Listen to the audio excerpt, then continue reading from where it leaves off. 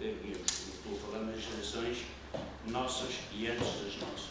Já não direi as gerações dos nossos filhos ou dos nossos netos.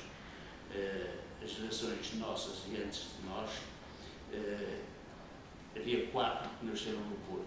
Sou eu e os meus irmãos, e era o meu tio António, que era o irmão mais novo dos três irmãos que eram o meu pai e os, os seus dois irmãos, que era o Joaquim, que era o nosso pai, era o Zé, que era o, o segundo, que era o meu padrinho, e era o António, que eles eram mais novos dos três.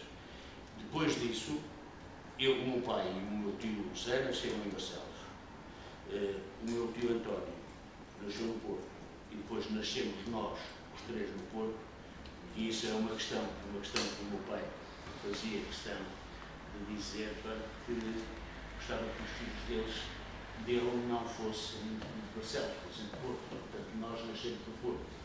Pronto, depois os nossos filhos, o Miguel que está ali, para, nasceu já está no Porto, etc, etc, e os outros todos nasceram no Porto. É, é, os sobrinhos. E pronto, e pensamos que viramos a vida no sentido eh, menos, menos comercial e mais na área dos, dos serviços. Eh, eu sou economista, sou de contas, o meu irmão Manuel é, foi comandante, depois está reformado da, da, TAP e, é, e o Luís é advogado. Portanto, a nossa vida tudo ficou-se dentro dessa, dessa filosofia, sem nunca deixarmos de recordar o mercado do sem nunca deixar de recordar a correria, as vezes que eu fiz, que era para ir para a Faculdade de Economia, que íamos descer outros martes, quer descer a rua da Boa Vista a subir a rua Alves Cabral ao contrário para ir para o Liceu, ir para o Número Segundo e jogar bilhar ao, ao Biúpa ou, ou, ou Estrela, Estrela Verde na Brasil Feia, etc, etc. Aquelas brincadeiras que a gente Agora, o doutor Neiva Santos, a palavra, a palavra é a sua profissão, por isso o senhor, o senhor, mercado do anjo, quem descreve bem o mercado do anjo é o senhor. É, é. Eu consigo pôr lá dentro de um armazém que não conheci, não é? Os armazéns do Norte. Não, consigo. Não, não. Grandes armazéns de Santo António. Os grandes armazéns de Santo António. Também havia também ali ao lado, não é? Eu consigo pôr-me lá dentro, numa paisagem que eu, que eu não conheci, e vê-la, ver a empregada a subir com as manadas de lenha. E, e essa paisagem já não está ali. É, hoje é o pleno shopping, não é? Não, hoje, hoje, hoje é Marcos Fãs.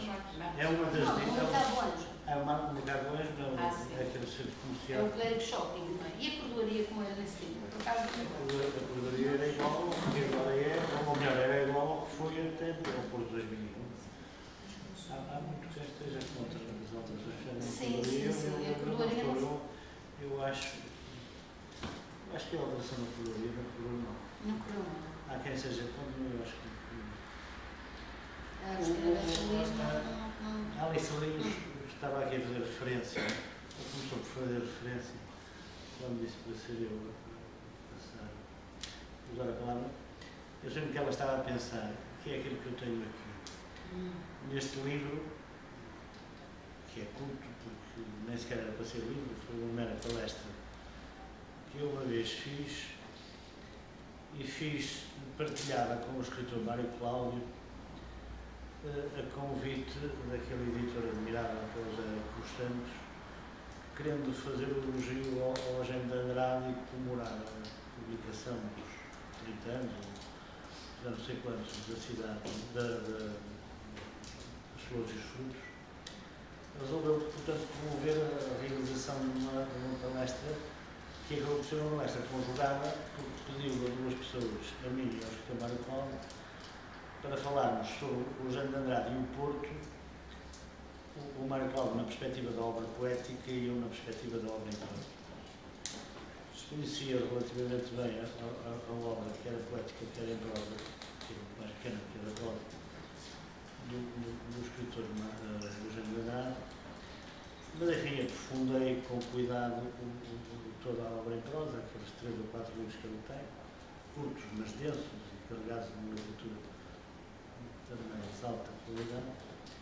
Eh, e saiu um texto que, cuja criação literária provocou, chegou, chegou, chegou por este caminho, né? assim é melhor dizer. Disse como é que eu vou falar do Eugênio Andrade sobre o Porto e, e, e, naquele momento de criar ideias e pensar como é que isto devia ser construído, deu uma ideia de saber que ele tinha chegado aqui ao Porto nos anos 50, quando veio trabalhar para o Porto, para, para a Segurança Social, onde trabalhou até se reformar,